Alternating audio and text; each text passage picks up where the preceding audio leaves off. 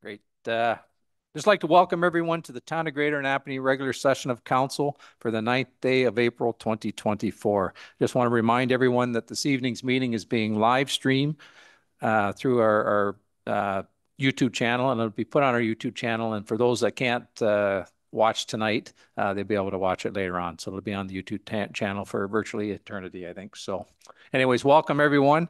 Uh, we'll get started. We'll call the meeting to order. What we'd like to do, we'll deal with our closed session matter first.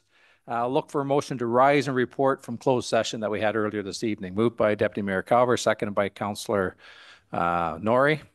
If there's no further comments, questions, or concerns, all in favor of that motion?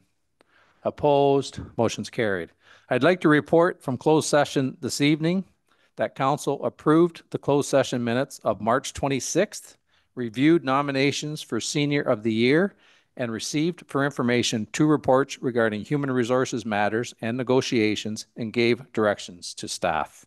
Uh, having said that, we'll look for a motion to adopt the agenda as amended. And we just want to make a small amendment to this evening's agenda. I'd like to uh, deal with uh, six point or sorry 8.2 on our agenda first before dealing with 8.1. So we're just going to switch those two matters. So Uh, look for a motion to adopt the agenda as amended. Moved by Councillor Shank, seconded by Councillor Hicks. If there's no further comments, questions, or concerns, all in favor of that motion? Opposed? Motion's carried. Is there any disclosure of pecuniary interest in the general nature thereof? And I believe uh, Councillor Pennell, go ahead. Uh, thank you, Mr. Mayor. Through you, I'm declaring a conflict of interest on 8.3 as one of the applicants is my employer. Great. Thanks, Councillor Pennell. Moving on, we'll start into the deputations. Scheduled deputations with respect to new items. And I don't believe, Madam Clerk, we have any of those. Thank you. Uh, next up on the list is deputations items that are on the agenda. And we do have a registered deputation for, from a Tony Belasavage. And I hope I haven't um, made that too much of a mess there, Tony. So come on up. Uh, I'm not sure if you've been uh, and done a deputation with us before. I'll give you sort of the Reader's Digest version. Uh, you'll have to make sure you talk into the mic, and you'll have to push the button that says talk on the right-hand side and hold it as you talk.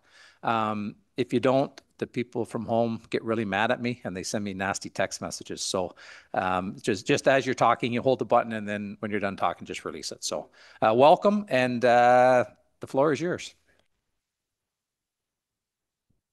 I would like to thank council for the opportunity to be here this evening. My focus tonight will be on STAs because I believe the introduction of the proposed bylaw, when it does come in, will end up costing the town far more money than it will bring in and provide little or no meaningful benefit to taxpayers. Over the last few years, various municipalities have sought to establish licensing requirements for STAs. In the vast majority of cases, the motivation to bring in this type of regulation has been focused on addressing two pressing policy issues for very specific communities. In major population centers, it is being done as one of a series of measures aimed at maintaining or re-accessing long-term rental stock. While in tourist destinations, they have been put into place to support and manage the long-term development of the community. Outside of these policy issues, justification for licensing becomes less clear, but usually centers around the concept for a need to supervise regulation. This is done in a stated attempt to deal with nuisance issues, which for the most part is already covered under existing bylaws within the community. In these cases, STA bylaws have a dirty little secret. People support the idea of licensing the regulation because they think it will actually make a difference and stop nuisance issues from occurring, something municipal officials actively encourage as a way to build up support for the idea. Unfortunately, when these bylaws come in, municipalities are quick to collect the money but attempt to get by with little or no enforcement.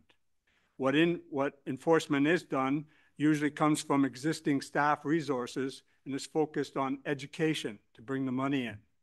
What municipalities often do not realize is that when they have they have simply traded one problem for a number of others. This is because financial estimates tend to use a formula based on the approximate number of STAs, the average cost to run the program, and the cost of fees, which together provide expected revenue totals. What is often missed in this equation is compliance rates. These normally run between only 5 to 20% of STA numbers for cities and towns, but tend to be higher in tourist destinations. Once these bylaws are in place, the problem for municipalities is that they still must deal with the concerns of residents, but pressure rapidly builds from compliant STA owners to crack down on non-compliant ones. Unfortunately, it is very easy to sidestep these regulations, so enforcing them becomes a full-time job and ends up costing far more money than was initially anticipated. The town staff report included in this study acknowledges this problem to some extent when it states, quote, any licensing program will require an investment in staff resources to manage and is unlikely to generate enough revenue to break even on costs. It goes on to say, even if the accommodation tax were to be applied to STAs, the 50% revenue retained by the municipality would not be sufficient to cover those costs. So what are the actual costs to the town would be if this were to be brought in? Could I see the slide?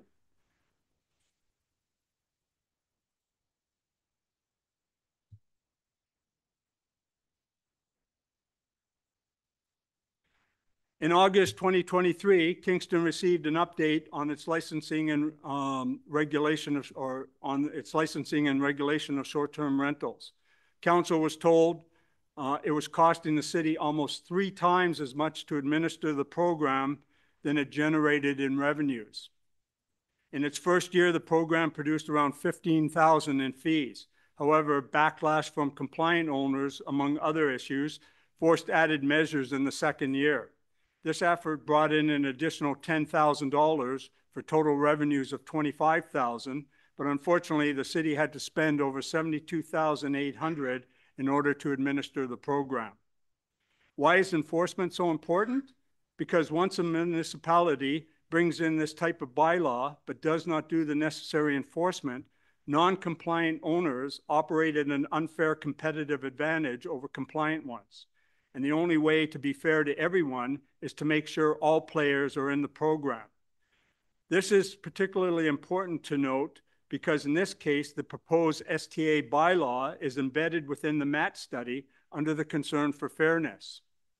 According to the study's logic, imposing a tax on hotels and motels, but not on the small number of short-term rentals, which I have estimated between 23 and 46, managed primarily by homeowners would be unfair. Uh, unfair.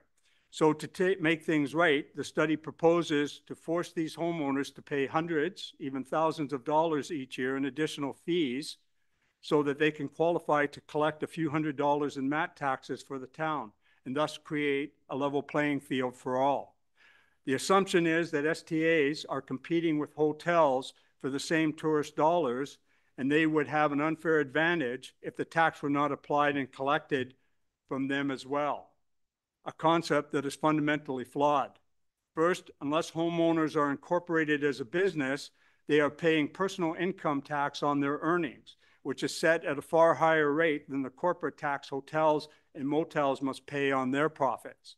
Secondly, numerous studies have concluded that STAs are not taking business away from hotels, but rather filling voids left by these established players. In fact, the evidence shows that STA listings have emerged to fill an accommodation gap for people who require lodging sufficient to meet needs over extended periods. This includes travel during the course of medical treatments, large family vacations, or for short-term contract work uh, for professionals such as medical and construction workers. In these cases, the opportunity to stay in an STA with a full kitchen, separate bathrooms, laundry facilities, and other household amenities represents services that hotels struggle to offer. In summary, this bylaw will end up costing the town more than expected revenues will bring in while providing little or no additional benefit to taxpayers um, that current bylaws better enforced would do. The question council should um, consider when looking at this bylaw is whether the problem with STAs in Greater Napanee is such that it would be worth the significant extra cost to taxpayers to bring in and enforce? And will it be the best use of staff time to constant, continually monitor for non-compliant STAs? Thank you. Great. Uh, thanks, Tony. Just uh, hang tight and we'll see if there's any questions of councils with respect to your, uh, your presentation. Does anyone from council have any questions of Tony with respect to, this? uh, go ahead, Councilor Pennell. Thank you, Worship, through you. Tony, thanks a lot for coming in tonight and speaking with us. Just a quick question. Do you have a STA yourself? So full disclosure, I do not. Um, however, I have been in the rental business for the, um, since nineteen eighty-nine. Uh, I've owned properties in British Columbia, Alberta, Ontario, and the Maritimes. I did own a STA up until about twenty sixteen. I sold, uh, largely because the amount of administration it was taking, uh, and the lack of profits I was making on it just didn't make it feasible for me to keep it. So the short answer is no, but I just wanted to add that, yes. It was a no, but yes. Okay, great. Thank you. Great. Uh, thanks, Councilor Pennell. Is there any other questions of Tony before we uh, go ahead, Councilor Hicks? Thank you through you. Sorry, through you, Mr. Mayor. Hi, Tony. Um, just a question, uh, based on your prior history of owning an STA in various provinces, what was your experience? Like, if you can give me a short answer, like, is, does BC have the regulation provincially, or did the municipality that you were in, the Maritimes? Yeah, so what you're seeing in terms of trends is that by and large, federal government has stayed out of it. They've just recently started to come into the picture largely because of public uh, concern for the uh, issue. Uh, BC is leading the race in terms of STA regulations in Canada, largely driven by Vancouver. Um, The problem that you have there is that um, their primary focus is to drive STAs out of business, which is one of the reasons why you see low um, compliance rates, because essentially the bottom line is the city, or the, the bottom line message the city is sending is, listen, we want you to register this program so that we can um, regulate you and keep adding fees until you're forced out of, uh, out of the uh, business, so we can turn that in, hopefully into long-term rental stock.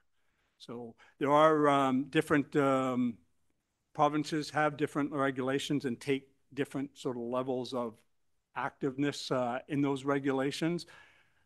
By and large, though, it is the municipalities that dominate the um, uh, decision on what they want to do, largely because they're very particular to local needs. So, for example, what would happen, what would be happening in um, the county, um, where it has well over a thousand STA units right now, would be very different from what was happening here or what would be happening in Kingston. So, it has to be a very localized approach for localized issues and problems. Uh, thanks, Councilor Hicks. Go ahead, uh, Councilor Shank. Long as that, uh, could we get a copy of your deputation if you could give it to the clerk so we could have that on file? And then we could, you know, you know, like all, yeah, exactly, yeah. Yeah, absolutely, absolutely, no problem. I'll send it tomorrow morning. Yeah. Thanks, uh, Councilor Shank. Uh, is there any other questions or comments? Um, Seeing none, thanks, Tony. Uh, and, and just for the record, I think, uh, I think Quebec, the province of Quebec has, has instituted a um, Airbnb reg- legislation as well at the provincial level. if- just Yeah, they recently, have, so- um, they had to totally rewrite the, um, uh, regulations because they were getting less than a five percent compliant rate as of twenty nineteen. So, yeah, there was a, a significant, uh, uh, change around in that area. Yep. Okay, great. Thanks, uh, thanks for coming and we'll have, we're gonna have a further discussion later on this evening's meeting, so thank you. Um, sorry, we'll look for a motion to don't receive, uh, Tony's uh, deputation with respect to the Airbnbs moved by Deputy Mayor Calver, seconded by Councillor Martin. If there's no further comments, questions or concerns, all in favor of that motion? Opposed? Motion's carried. Um, we don't have any other registered deputations, but I think we have a young lady here that would like to uh, uh, address council. And ma'am, I just have to get a motion from council to to accept um, accept your deputation. So just sit down, uh, just have a seat. No, come on up, have a seat. I don't think there's anybody here that's not going to let you talk. So we'll look. Uh, Look for a motion for an unscheduled deputation, and I believe your name, ma'am, is Alice Carlson, and it's with respect to Airbnbs. Am I correct? Yes. Okay. Left- Left-hand, button, Uh, the button that says talk would be on the right-hand side. okay. Yeah, so uh, moved by Councillor Norrie, seconded by Deputy Mayor Calver. If there's no comments, questions, or concerns, all in favor of that motion? Opposed? Motion's carried. Ma'am, the floor is yours, so go ahead. And just, I just want to confirm your name is Alice Carlson? Yes. Great, thank you. Thank you, Your Worship and Council. Uh, I appreciate this opportunity to offer my situation on a, as a specific example of a rural STA or STR. Since about 2010, I have rented my family's Davern farmhouse on our bicentennial farm throughout the months May to December. During high season for six nights a week, and during the shoulder season, May and June and September to December on weekends. During this time, I also offer the farmhouse to friends and family at a significantly reduced rate. My significant expenses include insurance, utilities, payment from my co-hosting agent, the purchase of bottled water in 18-liter jugs following provincial rules for houses on private wells, and for garbage tags. Although in the past I've employed some others to help me clean, I've been without help for several years. Most of my rental earnings are applied to the ongoing maintenance of my over 160-year-old house and to the upkeep of the gardens and grounds. Davern Farmhouse can accommodate up to 10 adults and several children using six bedrooms and three bathrooms, always uh, family or um, reunion groups. They're here for weddings, fishing, attending university or nursing reunions, cycling, quilting, and restaurant and winery visits. They spend their time and money as tourists in both LNA and Peace and Prince Edward County. Last July, um, we rented to six workers in Kingston uh, at a German company. They were workers from Latvia. Um, none of the behaviors over these 14 years has been problematic. And uh, so that's my example. Um, and I was not clear watching uh, the September meeting here about the difference between a proposed accommodation tax and licensing fees and how either would impact my rental because um, I don't know the specific amount of fees or tax. Because my profits are modest, extra taxes and fees will feature in my future decisions about continuing to rent the farmhouse. Uh, Thank you, uh, Alice. If you just want to just hang tight and we'll see if we have any uh, questions from council with respect to your deputation. Is there any questions of council of Alice uh, with respect to her deputation with respect to the Airbnb? Go ahead, Councillor Shank.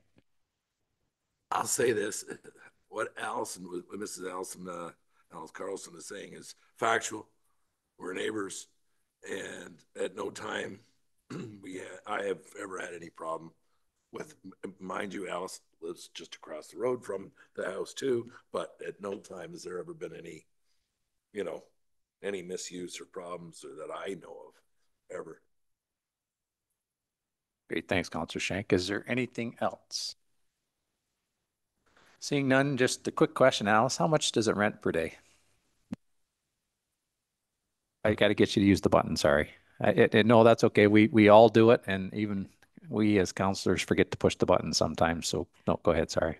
Uh, my weekly uh, rent in high season, the six nights, is uh, just around $2,000. Great. And I do, I rent uh, for six days because, uh, because of the lack of uh, custodial help. I cannot clean the farmhouse in a four hour, so, so we go, uh, just go six. Yep, okay. No, that's great. Thank you. Is there any other questions that came out of my questions? Seeing none. Thank you, ma'am. Uh, like I said, we're going to have a further discussion. uh, I'm sure a more robust discussion with respect to Airbnbs and uh, um, MAT taxes uh, later. So you're more than welcome to stick around and, and listen if you wish. And if not, then uh, you can always watch it on TV tomorrow. So Thanks very much. I appreciate the, sh- the short notice too for being able to do this. Thank you all. great. Thank you. Uh, we'll look for a motion to note and receive, Madam Clerk, uh, the deputation of Alice Carlson with respect to Airbnbs. Moved by Councillor Shank, seconded by Councillor Hicks. If there's no further comments, questions, or concerns, all in favor of that motion? Opposed? Motion's carried. Unfinished business. Uh, I don't believe we have any unfinished business, uh, Madam Clerk. Moving on to our administrative consent agenda. Uh, This is usually a a fairly lengthy process, but bear with us. Uh, We'll start with the council minutes from the regular session of council uh, for March 26, 2024. Does anyone have any uh, comments or questions with respect to those minutes uh, with respect to um, March 26th? Seeing none, committee minutes with respect to the Arts Advisory Committee. Is there any comments or questions with respect to those committee minutes?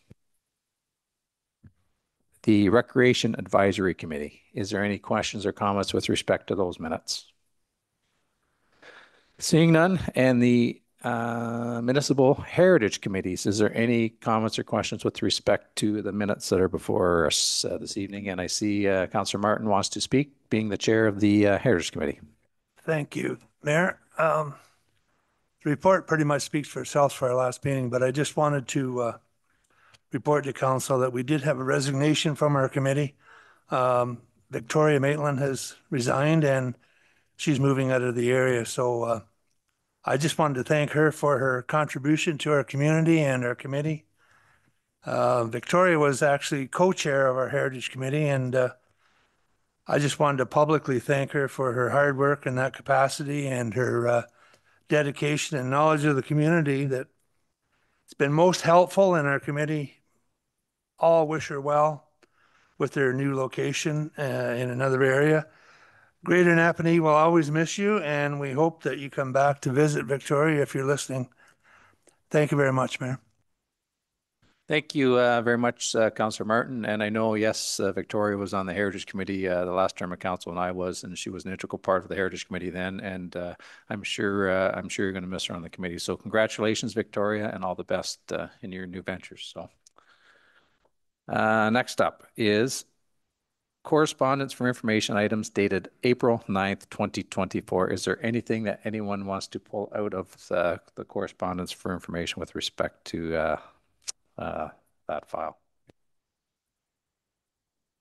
Yeah, I think uh, we do have uh, Councillor Hicks. I think you want something that's pulled out to speak to.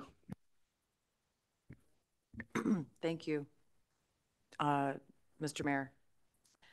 It was uh, regarding the um, accessibility, the, the resolution that went to the province from Prince Edward County.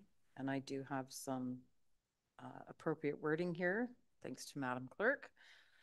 Uh, So that uh, I'd like to propose that the Council of the Town of Greater Napanee supports the motion from the Council of Prince Edward County calling on the province to create a municipal accessibility fund and commit to working with municipalities to implement the immediate recommendations of the 2023 legislative review of the Accessibility for Ontarians with Disabilities Act in order to meet the deadline of an accessible Ontario by 2025.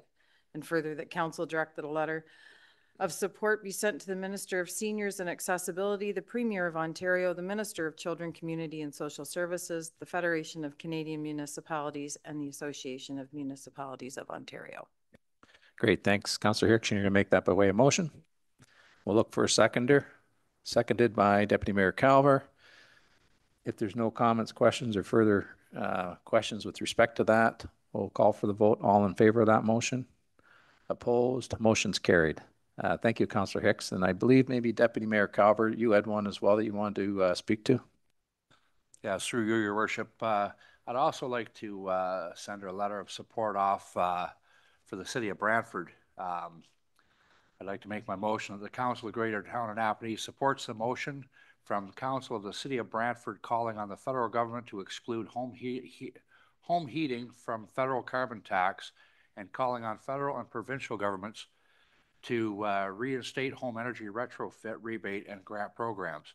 And further, council direct a letter to, of support to be sent to Federal Minister of the Environment and Climate Change and Provincial Minister of Environment, Conservation and Parks, and the MP and MPP for Hastings and Lennox and Addington County.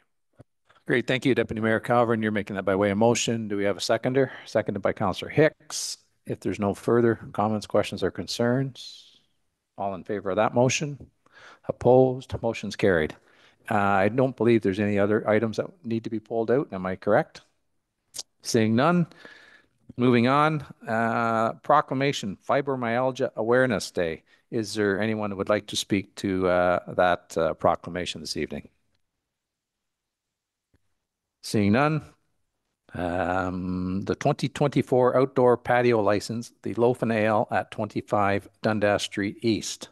Is, uh, is there anyone that wants to pull that out and have a conversation about that? Seeing none, I'll just uh, comment, Madam Clerk, that's, uh, we do that on uh, a yearly basis and there's been no changes from the previous years to this year, am I correct? Through your worship, yes, that's correct. Okay, great, thank you. And that would be the, uh, the, the end of the consent agenda, so we'll look for uh, a motion that council consent to the approval of the following routine items. The minutes of the regular session of council dated March 26, 2024 be adopted as presented. The, draft Arts Advisory, Recreation Advisory, and Municipal Heritage Committee minutes of February 29th, March 21st, 2024 be received for information. The correspondence for information items dated April 9th, 2024 be received. That council receive for information the Fibromyalgia Awareness Day proclamation and that council receive for information the 2024 outdoor patio license Loaf N' Ale at 25 Dundas Street report and further that council approve the outdoor patio license for the Loaf N' Ale from May 1st to September 30th, 2024 for the patio on the sidewalk in front of 25 Dundas Street East with the exemptions to section 4A, C, and D of the outdoor patio bylaw number 0438, subject to a number of conditions that are uh, contained within the agenda. Moved by Councillor Pinnell, seconded by Councillor Norrie. If there's no further comments, questions, or concerns, all in favor of that motion? Opposed? Motion's carried. Moving on to items for discussion, and this is where we're going to uh, do a bit of a tweak. We'll start with the uh, short-term accommodations 8.2. And Madam Clerk, are you going to speak to that first?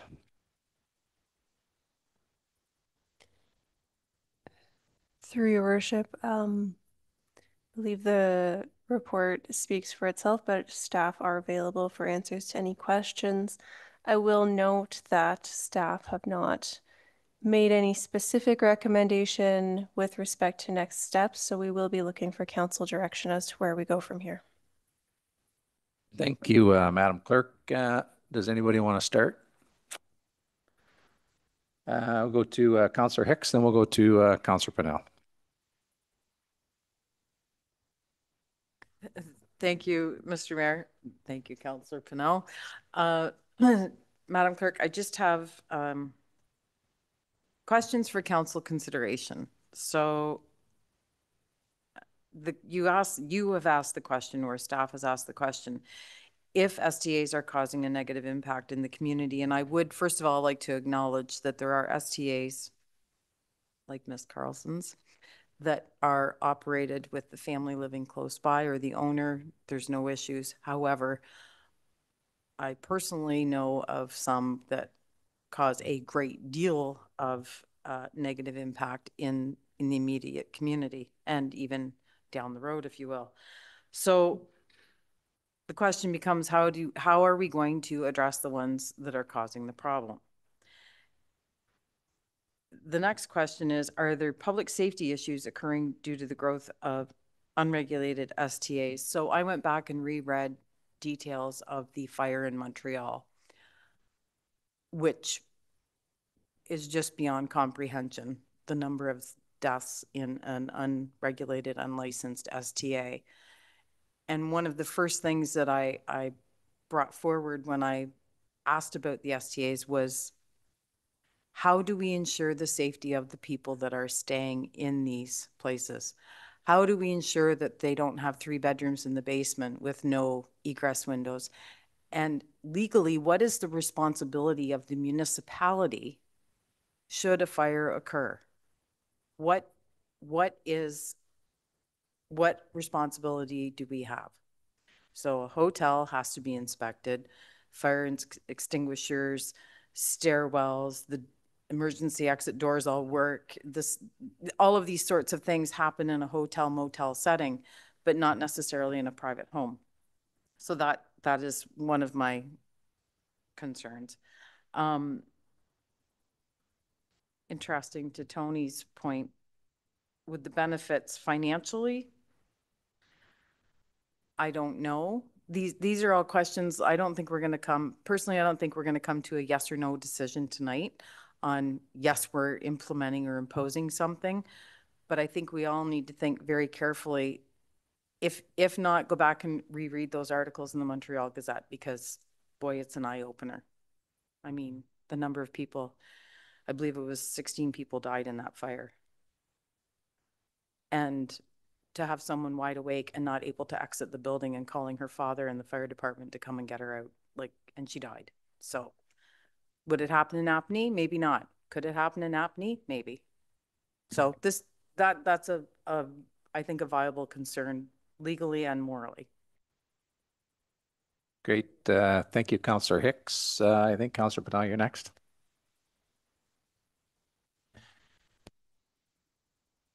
Thank you, Mr. Mayor, through you.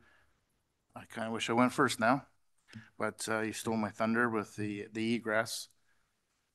One of the reasons why I would like to have the short-term accommodations uh, regulated so we know where they are, so that there can be fire inspections done. In my, in my professional career of being a Realtor, I see many times in a basement, someone wishes to call a room a bedroom that does not have a window. Or if it does have a window, it's too small to provide egress, or the window is too high and there's nothing around to, to be able to get yourself up there. I do believe the, uh, the window needs to be a, a, an area of three point eight square feet. And if there's a window well, then the window well needs to be at least thirty inches away from the foundation so you can squeeze through there. This is all coming out because if you can imagine somebody staying in your downstairs bedroom for the first time ever and they don't know the lay of the, of, of the house. There's a fire, it's black, it's two o'clock in the morning, how did they get out? So uh, going on with what Councillor Hicks has said, this is very important that we need to do this.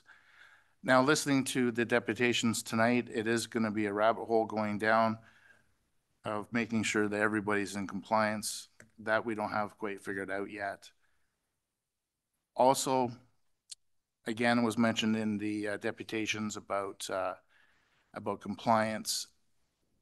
But I think that we owe a duty to the existing property owners on either side of these short-term accommodations to provide them with quiet enjoyment of their homes as well.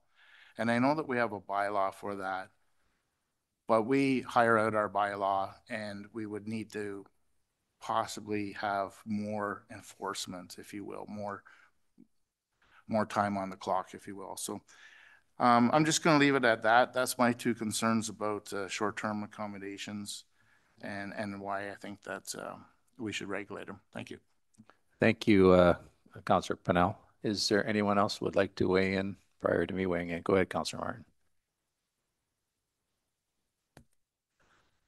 I actually agree with both counselors on the other side of, as far as being compliant and safe. Um, my concern has always been the uh, small operator who has one apartment in his basement or is in his house, and the compliance is burdensome on that person. Some of them use it to help pay their mortgage. Some of them use it to offset expenses, whatever they use it for.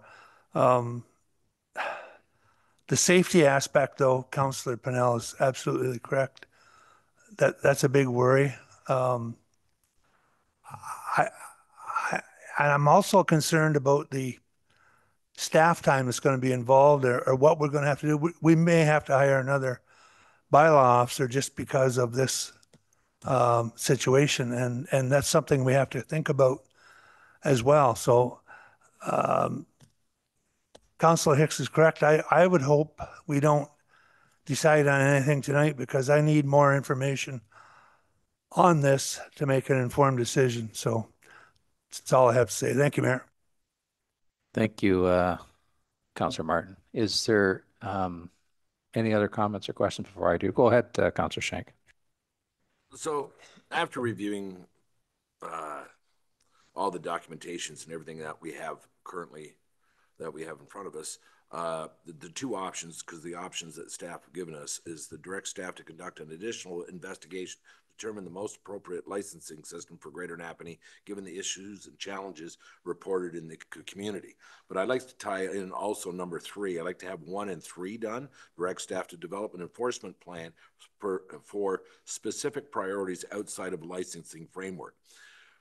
Everybody understands that we have our excellent operators like Mrs.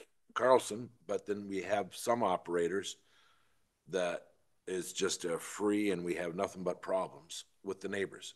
We have retired people that live right beside these other, uh, uh, um, shoreline residential and other places that are, uh, are rented out and it's just a party fiasco for the whole weekend. And the neighbors are, do, do not have the lifestyle that they have. So we have some serious problems that we're gonna have to deal with. But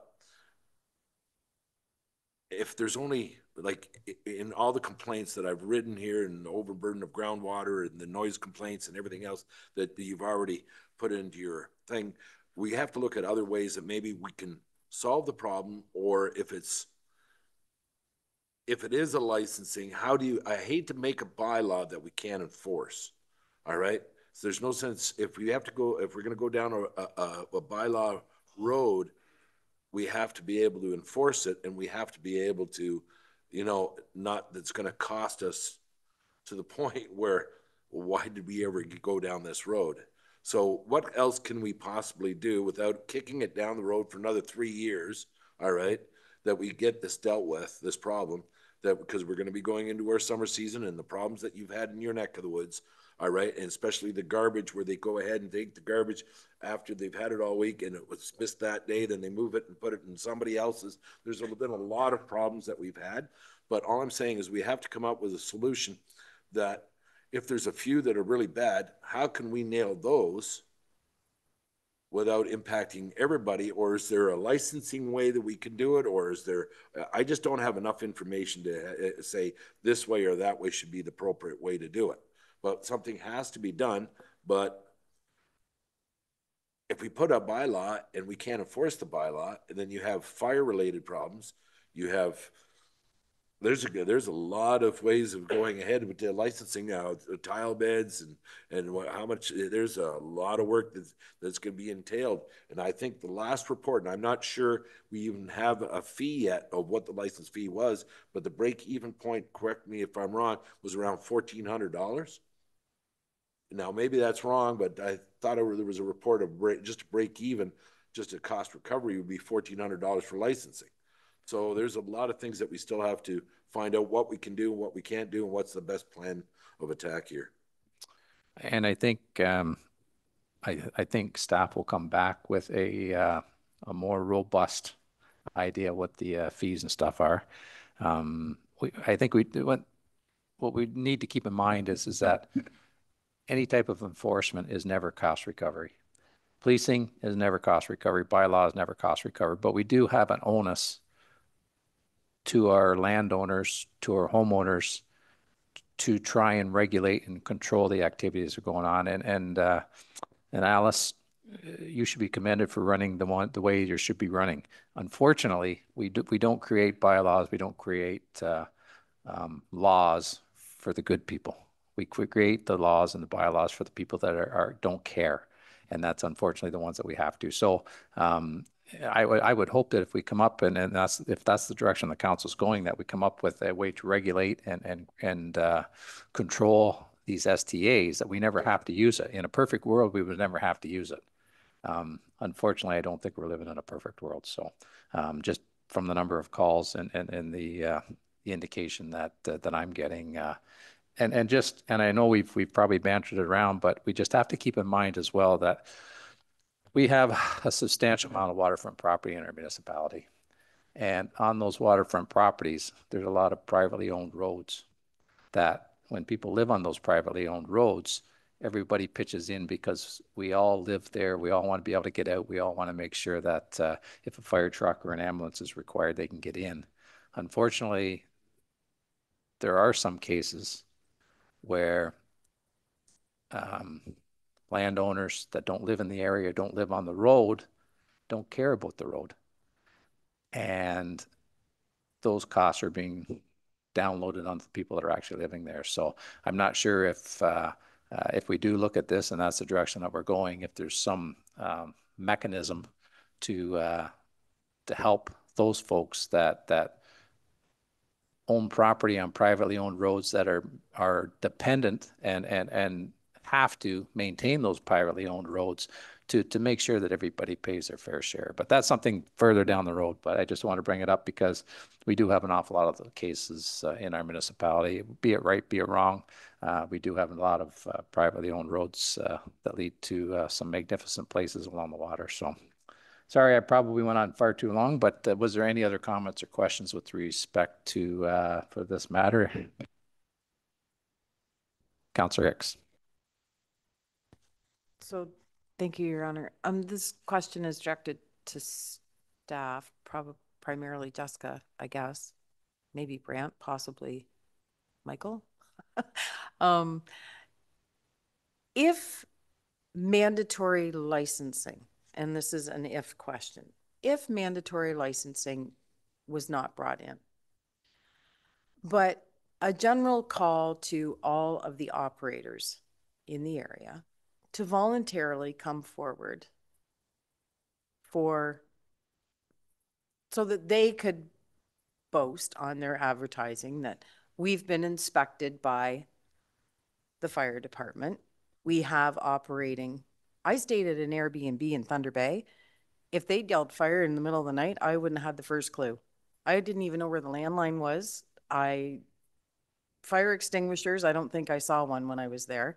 Um, so if we asked the operators to come forward voluntarily to be listed within the town as a goodwill gesture, no, we're not going to impose, this is an if statement, keep in mind. We're not going to impose a fee, but we're asking you to come forward so that we can all make sure that everyone is operating safely for the benefit of your guests, for the benefit of, of the town. Um, is this something that, that could possibly be done? And an inspection carried out? So I, I understand that there's a cost involved in that with the fire department, but it's not unheard of them to do inspections, if I'm not mistaken, to ensure working smoke and CO alarms, et cetera, et cetera. Is this a possibility? Can, can we legally ask? I know Mr. Carlson probably, I'm putting words in your mouth, but you probably would not object to that. You might even say, yeah, sure, come on down, make sure I'm, I'm legal and it's only going to benefit me as an operator because now the insurance, et cetera. I, it's just a question. And I think that's probably part and parcel. I think, Madam Clerk, you want to weigh in there, uh, Jess? So through your worship, this would need conversation with the fire department as to what the impact on their resources would be.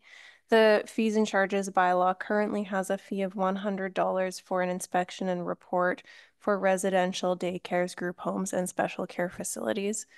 Um, so that is something that would need to be taken into consideration. Um, beyond that, as I said, I don't want to speak for the fire department as to what impact operationally that would have on them.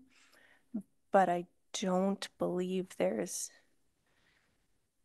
any reason we couldn't at least investigate that and what that could look like.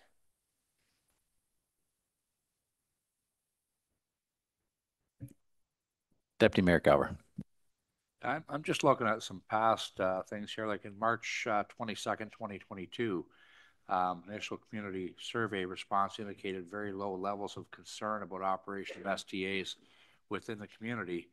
And then on June 14th, uh, staff calculated that based on the number of reported STAs, approximately 60, the workload requirement to implement a licensing system with inspections would be about 900 hours roughly 15 hours per property based on inspections from the fire and building staff and drive time and documentation review.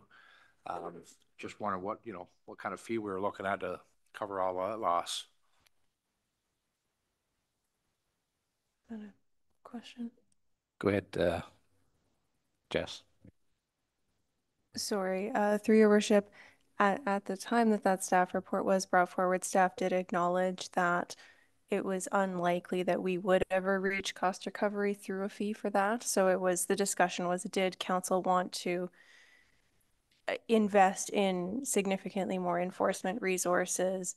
Uh, at that point in time, the direction from council was not to proceed based on the uh, projected costs.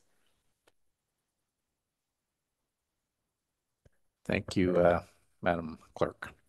And again, I think we do have to keep in mind that uh, there isn't an enforcement or a regulating body out there that's going to be cost recovery. But uh, at what cost do we owe it to our taxpayers to ensure that uh, the neighborhoods that they moved into are the neighborhoods that they are currently living in now? So um, is there any other comments or questions? Go ahead, Councillor Schenk. The only one is, we have a few that we know that are really bad, but Jessica's done a really good job of compiling all the information she's gathered so far. But noise was the number one complaint. But it also states under here, it says that however, some of the complaints we received not rise to the level of being enforceable under any bylaw as they fall within the threshold of a reasonable enjoyment of private property. But I'm just trying to think of, we have to come up with a way because if it was my grandma or grandpa that lived in the house and retired and then somebody bought a house here and it was just renting it out for STAs and it was just a party house, and now it's affecting the lifestyle. So I totally understand what the mayor's saying. We have to do something to protect them, but what is that fine line because of the the ones that are the bad apples? How can we penalize them without penalizing the good ones? So where's that? What can we come up with, or what can we do to hammer those ones that are are, are really abusing it? You know. And, I- and I think that's part of the, uh, part and parcel to the, uh, the regulating and the enforcement of it. Um, I, I guess it would be providing staff with more tools in the toolbox. And I, I hate to use that term, but uh, I know that's a term that we used in policing is, is that we provide our staff all the tools in the toolbox in order to, um, resolve an issue that, that could happen. And like I say, in a perfect world, we would never have to use it. We would have a, a regulation, a regulating process that we, that identifies where the STAs are. There would never, ever be any type of, uh, enforcement there because everybody acts like Alice and, and, and takes care of the place and doesn't, uh, uh, aren't, absentee landowners. So, um, but we know that, that we're not living in a perfect world. And, and we, I think we've all received the phone calls on it. So go ahead, Mike. Now, Jessica, this, these are, I'm just throwing some ideas around here, Brett, is that if, could we not put a bylaw in place that if a noise complaint or a complaint that's verifiable, that to an STA and it's deemed to be an STA, all right, like it was rented out to somebody and they'd you know, and we could prove that it was rented out to somebody else. Could we not impose a fine without making, uh, is there any way we could do a bylaw that way that we're hammering the ones that are abusing it? You know, I, I know when it comes to a burn complaint, if you get a burn complaint there and after about the third time you've gone to, to that area, because there's some people that ha- have an STA, but the neighbor didn't, don't, don't uh, hate having anybody new renting the house and then they'd phone the complainant.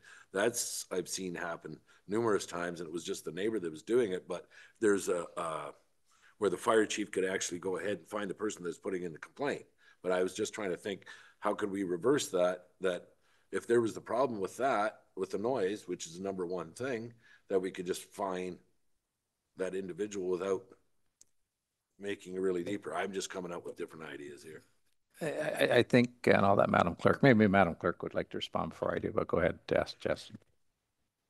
Through your worship, we would need to get legal advice on this matter. There are a few municipalities who are exploring a call-out fee for repeat bylaw services to the same property for the same issue. Um, but we would, we would want legal advice before trying to implement something like that just to make sure that we were doing it fully within our um, authority and also to make sure that there are protections in place for the false alarm calls or malicious calls um, where a neighbor simply doesn't like what is happening, but it's not actually rising to the threshold of being a bylaw violation. Yeah, and I, I think we just be cautious, uh, not to focus on the, on, on one aspect of, of the whole regulation part of it. Is, is that there are many, many aspects of, of regulation, part of, of which are identifying which are and which aren't. So, um, it, I think it's one of those things that we're either all in or all out. And uh, I don't know if there's any kind of a hybrid process that would, it would work because we're trying to do a hybrid process now with you, with, which is using existing bylaws to deal with a problem that existing bylaws on the surface, yeah, so we, we, we can charge somebody with a noise bylaw, but that doesn't, uh, um, stop the problem. It, it just, uh, it's a Band-Aid solution, so. Um, is there any other comments before we entertain a motion? Go ahead, Mike. Just, uh, so the next meeting, if you could come over, then when, when we're discussing this again, we could have a fee schedule of basically what your, your, what it would be proposing of what, if we were going down that row of licensing, what the fee schedule would be, just more information that we could, you know, ponder. You know, if that's the first year, the first time, what would that fee schedule be? And the, if it would be every year or every third year, like what are they doing elsewhere? What are they doing in Prince Edward County? You know, I'd just like to see about, just have more information, what we can, what we can do, what we can't do. And I think that's, uh, I think that's what, if, if we go down that road, that's what the intent is. I do have, uh, a, a couple of options with respect to, uh, a motion if you want me to relate them. What, I'm hearing is, is that, that we probably should regulate them, but one of the options are is that council receive for information the short-term accommodations report and further that council direct staff to continue to investigate and consult with the community regarding a potential licensing bylaw and report back with recommendations regarding a potential licensing framework, including revenue and expense forecasting. Is that kind of what I'm hearing? If not, I can go down the list. There's also a, an option that council receive for information, uh, STA report, Further, that council directs staff to continue monitoring and tracking inquiries and concerns related to short-term accommodations, but no licensing system be implemented at this time. Or that uh, receive for information and further that council directs staff to continue monitoring and tracking inquiries and concerns related to short-term accommodations, but that no licensing system be implemented at this time. And further, that council directs staff to report back regarding an enhanced enforcement plan which is kind of what we sort of already done and we're still here. So um, I think we've started this conversation back in 2019 with Councillor Norrie suggesting that uh, maybe we should just look at somebody else's and, and see if we can cut and paste and take a look at it, which I thought was a marvelous idea, to be quite honest with you, because I don't think we need to re rebuild the wheel or reinvent the wheel, but uh, that's just my opinion. So Anyways, we do have a few options here, so council or uh, staff will be looking for some form of direction with respect to uh, this evening's conversation on short-term accommodations.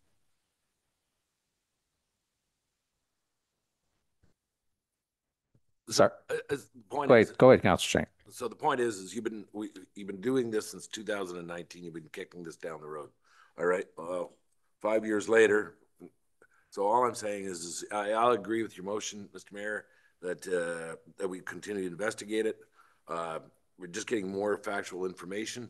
What'll work, what won't work, we'll have to tweak things, some things we might not have to tweak, but at least we can, uh, let's get, put this thing to bed, either you're gonna do or not. Cause if we just go ahead and bury it and it comes back, but it's, you have to be fair for all parties. It's not always the, the great ones that are great, but the ones that are, are being bad and the neighbors beside them, they have some serious problems and they have to be addressed. So if we just bury it, you know, yeah, the people are doing great, but the person that happens to be living beside something like that is going, you're not looking after us. So let's look into it, find out what we can do, what are the facts are. Tony had given some pretty good, uh, you know, what we could do, what we can't do there. So, and uh, same thing with Alice. So we need more of that and see what we can come to as a conclusion. Uh, thanks, Councilor Schenk. So uh, that council receive for information the short-term accommodations report and further council direct staff to continue to investigate and consult with the community regarding a potential licensing bylaw report back with recommendations regarding a potential licensing framework, including revenue and expense forecasting. And I'm thinking that, uh, Madam Clerk, and I think we may have even saw it, but uh, we see some form of a uh, um, fee chart situation. Um, I think that there's probably already been a lot of work done on this, right? Through your worship, there has been work done on this. Uh, staff will need to revisit the numbers, uh, as noted in the report. Those original numbers reported in 2022 were based on an assumption um, the council wanted to see a fairly aggressive enforcement approach. Um, staff can look at a few different options, including uh, ones proposed tonight around uh, possibly voluntary listings or having a listing of uh, operators that do voluntary inspections for code compliance, um, which may possibly cost everyone a lot less money. We, we can investigate more options and report back. Uh, Thanks, Madam Clerk. I, ju- I just, again, uh, to, uh, to reiterate what uh, Counselor Schenk says, I, I just don't want to kick this thing down the road anymore. If uh, we're going to institute a, a, a regulatory body to do, deal with this, I would like to uh, see some form of um, documentation with respect to what that would look like, I guess is the best way of putting it, so that we can uh, take a look at it and, and, and move forward from it. Because like I say, I know um, I, I feel a little bad when I'm talking to people that I talked to back in 2019 saying, well, we haven't got any type of regulatory body, but we're working on it and we'll get there. And now we're five years down the road and we're still looking at it. So, yeah, go ahead, Jess. Through your worship, if I may, if there are residents contacting members of council with concerns, please have them uh, entered in our Access E11 or email to the bylaw officer or myself because we are not getting those complaints to the office. They may be ringing your phones off the hook, but we aren't getting them. So that does skew potentially the information that we are presenting to you. Uh, yes, you're absolutely right. And uh, I'm a big proponent of the E11 system. And, uh, but I guess it, it's one of those things that, I mean, we, we had an open house on this. We got what, 22 people out of 16,000? So it, it's, it, it's not a really good indication as to what people are thinking, right? So um, that's the difficult part to it. So um, in any event, we will continue to use the E11 system and uh, um, gather as much information. But I'd like to see some form of, of what is this bylaw and regulatory body going to look like uh, so we can make some, some decisions uh, sooner than later, I guess.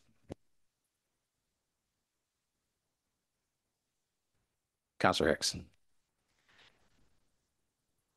Through you, your worship. So Jessica, I agree with what the mayor has said, but I also am wondering if at the same time, uh, you can show us what an enforcement plan would look like for specific issues, i.e. noise, burning, like do the, did they call in for a fire permit? Um, again, can, can the call out be, call out fees? Is, is there a possibility of doing that? Like, dear homeowner, we've been called out to your place no less than twelve times in, the in the past fifteen days, and here's your bill, and it's going on your taxes. This, this, like, is there a possibility of that? And I'm really interested to know, um, what, what comes out of, um, what are our legal responsibilities as a municipality? Because if you are operating a business and taking money for it, and I understand like you're, you're filing your income taxes and all the rest of it, and you have homeowners insurance, but is your insurance company fully aware that you're booking people in? Like it's a revolving door? Do they know that? Like, and, and again, what is our responsibility?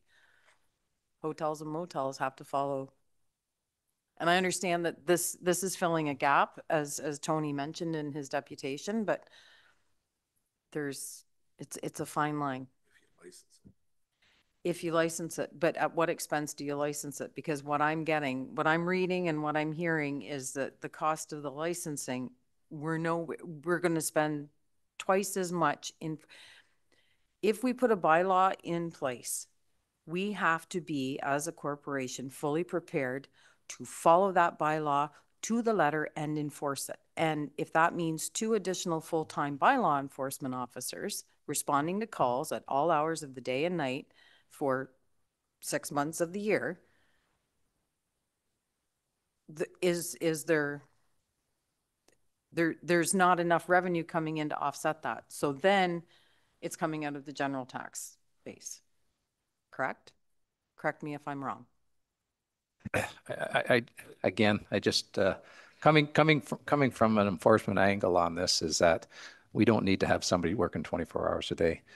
The police get called. They go, they find out it's an Airbnb. There's a huge party on there. There's a big uh, pit fire. Uh, people are drinking, carrying on the music. They're going to do a report. They're going to report it back to us and say, listen, this is what we saw. This is, uh, this was who is in charge of it because they're going to take the name of the person that was actually in charge of the house at the time. Uh, and they'll sort forward that information to us. So there's no real reason or, or, or we don't need to have somebody on call to get called out uh, as far as bylaw to go and do that, right? Police are going to get called. So they're going to call the office. Nobody's going to answer the phone. They're going to call the OPP. The OPP is going to go and say, listen, hey, you can't be doing this. Who owns the house? Well, we're renting. it. It's an Airbnb. If we regulate it, that information will all be in our files. And, and if it's been registered properly, we will know who the owner is. If it isn't, and we get the information that it's an Airbnb and they're having a big party there, we'll also know that because the OPP will take the information. We know who's on the tax roll. It's an investigation that, that we don't have to actually go and see.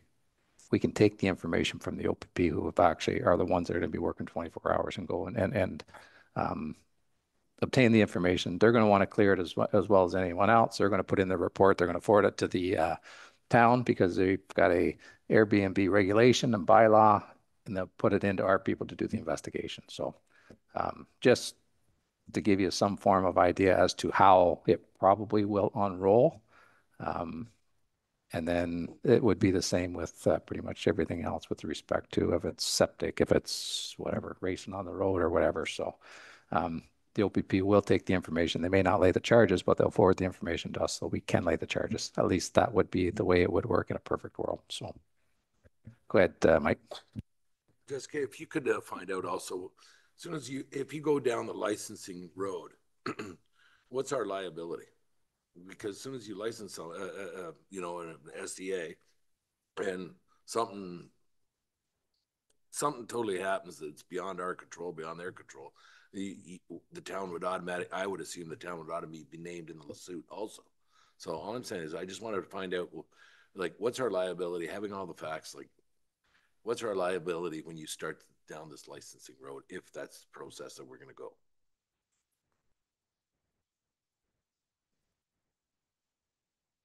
So, so through your worship, did, Hicks, were you making a motion earlier? Or no, just, sorry. I think, I think we started, if, yeah, we better get back to, to the rules here. I think uh, Counselor Schenk was asking about option number one, which is the one I read. Uh, Did Counselor Schenk wish to make that by way of motion? And I can read it again if it's helpful.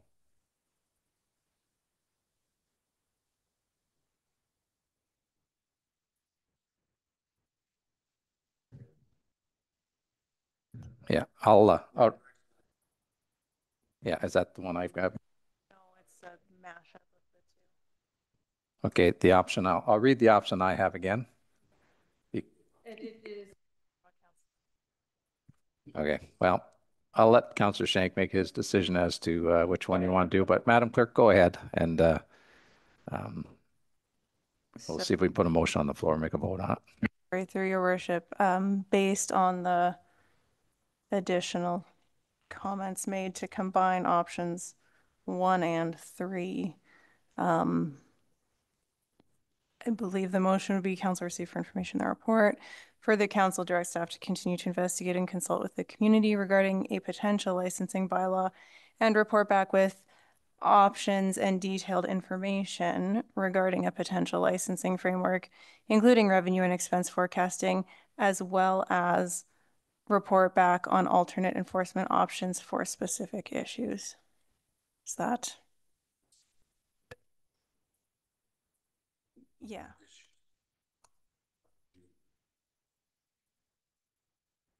Yeah, I think I heard that about three years ago. So, but we have, do have a motion on the floor. Do we have a seconder? I'll second that. Deputy Mayor Calver. Um, is there any further comments, questions or concerns? All in favor of the motion? Opposed? Motion's carried. Moving on to eight point one, um, municipal accommodation tax. Madam Clerk. Through your worship, once again, I believe the information is in the report. There is no specific recommendation from staff, so we are looking for direction from council tonight. Who wants to start?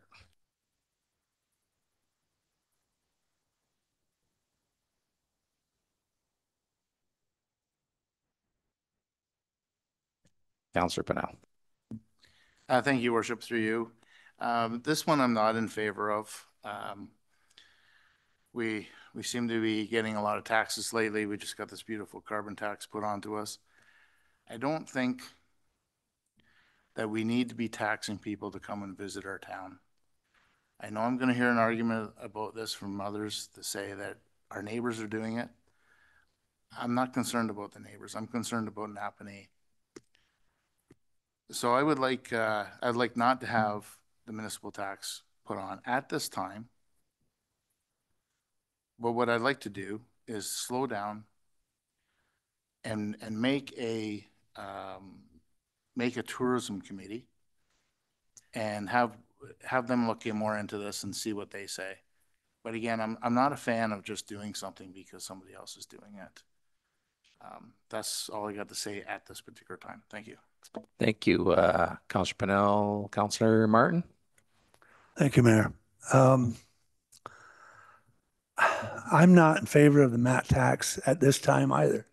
Um, I got a lot of questions about it. I mean, is it a net positive for the community? Because again, I'm concerned that the businesses have an advantage if we don't have the tax. And I don't want to put any undue encumbrances on that. Um, the other question I have, we had the other discussion about the uh, STAs. Are we putting the mat tax on them?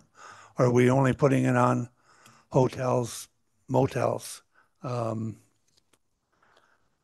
and as far as neighbors charging it, they don't because uh, if we were to put it on, we'd be the only municipality in the county to have the mat tax. Loyalist doesn't have it. Stone Mills doesn't have it. Hastings doesn't have it. So I, I'm not, I'm not saying we shouldn't have it because of that, but I don't want it said that everybody around us does because they don't. Um, I would just, again, I'd like to have a little more study on this. I wouldn't even mind if we had another open house um, to let the public weigh in on this. We didn't have any um, of the hotel owners weigh in at the open house. That was one thing that was missing at the open house. Um, we did have a lot of people uh, give their uh, opinions out there, and I wouldn't mind having another one just just just to uh, let the the community weigh in on this, knowing full well that there is an open house. Uh, every time we have an open house, it kind of informs others that they missed it. So it would just give them another opportunity. So thank you, Mayor. That's Thank you, uh, Counselor Martin. Uh, is there anyone else who would like to weigh in? Counselor Hicks. Through you, your worship. The MAT. So the municipal accommodation tax. You cannot compare Napanee to Stone Mills or Loyalist. And I say that honestly, Councillor Martin, because neither one of them, to the best of my knowledge, have a hotel or motel in them. I don't believe Stone Mills has a chain or even a privately run hotel or motel. Or or or nor does Loyalist. I can't speak to Hastings. I do know that Kingston does charge the mat, and I do know uh, that Toronto. I saw a listing and of, I think, correct me if I'm wrong, Mr. Mayor, there's 25 municipalities listed of comparable size all over Ontario. And Napanee was the only one. There was one other, Arnprior, I believe. that weren't currently charging a, a four percent municipal accommodation tax. Now, I read, and I, I apologize because I did not circle it on my hard copy, but I read in the comments to the survey that there's nothing marketable about Napanee that there's nothing to do in Napanee. People don't come to Napanee to do anything. Uh, there's not, because there's nothing to do and people don't feel safe in Napanee and they prefer to stay elsewhere. Having the monies generated, even at fifty percent to start with, stay in the municipality could maybe go towards changing that because that money could be earmarked through a process of discussion and it's, it's council's decision basically on, on where that money goes. To, to my way of thinking, it would go towards marketing and possibly even one event a year where we don't currently have the budget for that. So this is a revenue stream that is currently not being used to bring in additional monies. Whether or not short-term accommodation is taxed at the same time, but the hotel chains didn't even show up at that meeting because it's already built into their software. The smaller hotel or smaller motels that showed up to the public meeting, um, many of them do long-term rentals. They're part of the housing program, if I'm not mistaken, and I think probably Brant or even the mayor can confirm that from a county perspective. And they don't charge. They would not be charging that. Anything over thirty-one days is not charged. Anything over thirty-one days is not charged, the municipal accommodation tax. I am in favor of it because I think even if it turned out to be forty thousand dollars a year, it's forty thousand dollars that we don't currently have that could be spent on planning an event or fixing up the signage on the 401, which I agree is deplorable and coming into Napanee. Um, actually, there's a lack of signage everywhere in this municipality, but that's a subject for another day. Um, so yes, I am in favor. Great, uh, Counselor Hicks. I'll go to Deputy Mayor and then I'll go to Counselor Norrie. At this point in time, I'm, I'm not in favor of it. You know, sure, we're gonna collect forty-five thousand dollars, and, and I agree, that's money we could be using for quite a few different things in the municipality. But what is, the what is the cost of collecting that? What is our, our outlay and cost of collecting and, and what's the cost of, of monitoring it? That's probably my question. I think Counselor Hicks could probably answer that. Can you, Counselor Hicks? Well, I can't answer it, uh, your worship, but I'm sure that I could look over at the treasurer. Sorry, Alan, I don't mean to put you on the spot here. But the hotels already have it built in. Usually it's collected and remitted quarterly, from my understanding of talking to other municipalities.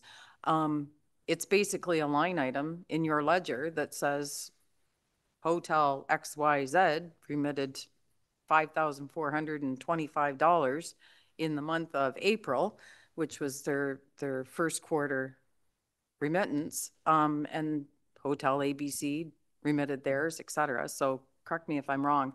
I don't think it's that difficult to accept money Ellen, did, willingly given. did you wish to weigh in on it? Yeah, sure. Thank you. Through your worship. Um, so just to make a comment on that, um, you are correct in that the administration of this program is substantially less um, in comparison to, say, the STA program. Um, they are required to remit quarterly to the municipality. Uh, again, it will depend on the number in which that are reporting. So if it is just the existing hotels and motels, the staff requirement would be far lower than if we were to also include the potential of licensed STAs that would also be required to remit um, quarterly to us. There is a contingency in the MAT revenue that you can have ten percent of that um, to offset your administrative costs, and we do believe that we likely can fall within that um, to cover our costs internally. Okay, thank you. Great, thanks, uh, Alan. Thanks, Deputy Mayor Calver. Counselor Norrie. Um,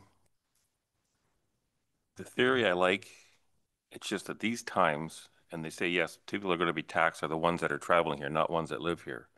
But it's still the same Canadian citizens or citizens that are being taxed to death. And unfortunately, they call it a tax. I wish they called it a fee or something, maybe more. plausible. But at this time, with all the taxes we're being hit with and watching this show that's going on right now federally, I just can't say yes to any more tax. I'm sorry. As much as I'd like the money, I just, the poor people are just getting, I won't say the other word, sorry. Uh, thanks, Counselor Norrie. Uh, Four percent, is that what the, uh, uh, That's, that's, the average is four percent. My understanding is that Kingston is looking to increase theirs to five percent. Um, but that seems, uh, a little high for, for Napanee. In my opinion, for Napanee, I would think starting at four percent would be more than sufficient. and these would be on rentals from people from outside the municipality. So say if somebody come and spent six hundred dollars a night on an STA, they would have to pay four percent. Am I correct? So just, uh, if I may, and I'll look to Madam Clerk for clarification on this, but the only way we could collect from an STA is if we knew that the STA was an STA and that they were licensed and regulated. Um, and that's where the collection of the money be, can, can become onerous. Now, I am aware of a municipality where when they implemented the MAT, um, people just showed up with the check in hand, believe it or not, and said, here, here's your remittance. There was no chasing required.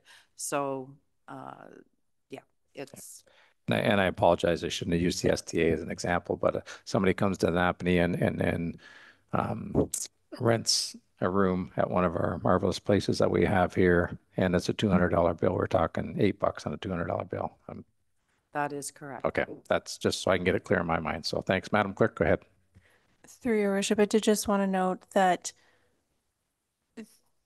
there is not necessarily a requirement to license STAs in order to collect the accommodation tax on them. We are aware that Brockville and Cornwall do not license short-term accommodations, but they do include them in their accommodation tax bylaw. We haven't spoken to their staff to see how that works, but Airbnb on their website um, has that tax automatically applied on the listings within those municipalities. They're also bigger than us. But we don't know that we would uh, meet the threshold for Airbnb to do a municipal partnership with our municipality. Um, just wanted to note that there are many different options of how this could work out. Great, thanks, Madam Clerk. Uh, Counselor Pinnell, then I'll go to Counselor Schenk. Uh, thank you, Your Worship, through you. I I just wanted to clear up something throughout the conversation, uh, when we were comparing, when we're comparing ourselves to our neighbors. Just want to point out Hastings is Belleville, right? So yes, they do have the mat tax there. And also, I, um, you know, this, this tax thing, it's, it's like the, the chicken and the egg, you know, it's like, does, does the tourism come first or the tourism tax come first, you know? Um, so again, I, I think that, uh, we're in a position where, where we should be looking at a tourism committee and, um, and then we can go with their recommendations and see what the community can handle. But I, again, with everything else that's going on right now, even though Mr. Mary pointed out it's eight dollars on a two hundred dollar bill, it's still a tax. Thank you, uh, Counselor Pinnell. Counselor Schenk. just so I understand this correctly. So everybody on council just passed a motion that we go ahead and investigate the STAs, all right? And the possibly, as, you know, if there's gonna be a tax on that, all right? But then we have a contingent also, they're saying no way on uh, a corporate identity of any hotel tax to do it. Now, the ones that are the STAs, they're municipal owners, they pay taxes on their property, more so than probably per square footage than somebody as, as a corporate identity. So how would that be fair if I was a short-term accommodation and you're gonna hammer me and you're gonna make me license, but you're not gonna hit uh, a corporate identity, all right, for the eight or the four percent, and they charge the HST on that also. So I would put, if I was a short-term accommodation owner, I would have a, uh, that'd be a little bit of a salt pill for me to swallow. If you're not gonna do one, you sure the heck can't do the other. So it's either all or nothing, the way I look at it. It's got to be fair across the board. So you have, I would, I would lean more myself to go after the, the people that are just driving and staying for one night and staying in a hotel than somebody that's gonna be staying a whole week and spending their tax, they're spending their money as a tourist that's staying for six nights. So all I'm saying is, is there's gotta be a happy medium here that, uh, if you're not gonna do one, you sure the heck can't do the other. As far as I'm, that's where my vote would go. So either you do them both or, you know, or nothing, because it doesn't seem fair. I would put a salt to be a little bit of a pill in my, if I was a taxpayer of that house that I'm renting out. And I think you're right, uh, Counselor Schenk, that, uh, I don't think we should differentiate between, uh, um, if, if we go down the road of mat tax, I don't think we should differentiate. It's, uh, it's an accommodation is an accommodation is an accommodation, whether it's at a motel, whether it's at an STA or whether it's, uh, somebody sleeping in somebody's basement, right? So I don't think it's fair to differentiate from one to the other, so. Uh, is there any other conversations? If not, we'll look for, uh, staff's going to be looking for some, uh, direction. And I think this one is, should be fairly straightforward. Do- Do we want to move forward looking for the mat tax or do we, uh, completely just want to put it on the shelf and, and, uh, leave it for another day and, uh, or another council? Counselor Pinnell. I'll make the motion that we, uh, leave this for another day. So we just walk away from the, uh, the, uh, mat tats at this time? Yes, at this time, and, and again, I'll say it again, I'd like to make a motion that we create a, a, um, sorry, tourist committee, sorry. Okay, let's deal with the, uh, Madam Clerk, I see you reaching for your microphone. Let's, so we'll deal with the mat tax first. Am I correct? Through your worship, yes, I was going to ask if those could be two distinct motions. So if I'm hearing council right, that council received for information a municipal accommodation tax report and further that council direct that no consideration be given for an accommodation tax at this time. Is that what you're starting to suggest, Councillor Pinnell? Yes, thank you. Moved by Councillor Pinnell. Do we have a seconder? Councillor Martin. Is there any further comments, questions, or concerns? I see you reaching for your microphone, Councillor Hicks. I'd like a recorded vote, please, your worship. Thank you. And um, Councillor Hicks has asked for a recorded vote. It's up to you. If there's nothing else, uh, we'll just do the recorded vote. Go ahead, uh, Jess. Ward one, Councillor Schenk. Sorry, to clarify, this is a motion that no consideration be given to an accommodation at tax at this time. No, No. Uh, Ward three, Counselor Pinnell. Yes. Ward four, Counselor Norrie. Yes. Ward five, Counselor Martin. Yes. Deputy Mayor Calver. Yes. Mayor Richardson. No. So that is four votes. Yes, that motion is carried. Thank you, Madam Clerk. And that concludes eight point one. Moving on to Growth and Expansion Services, PS, PLSUBD 2015-019, Ben Points Subdivision Draft Plan Approval. And I see Michael coming forward. And when you're set up and ready to go, Michael, the floor is yours.